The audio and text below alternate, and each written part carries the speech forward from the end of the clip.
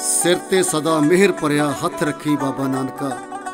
ਤੇਰਾ ਓਟ ਆਸਰਾ ਲੈ ਕੇ ਚੱਲੇ ਆ ਘਰੋਂ, ਸਦਾ ਚੜ੍ਹਦੀ ਕਲਾ ਦੇ ਵਿੱਚ ਰੱਖੀ ਮੇਰੇ ਮਾਲਕਾ।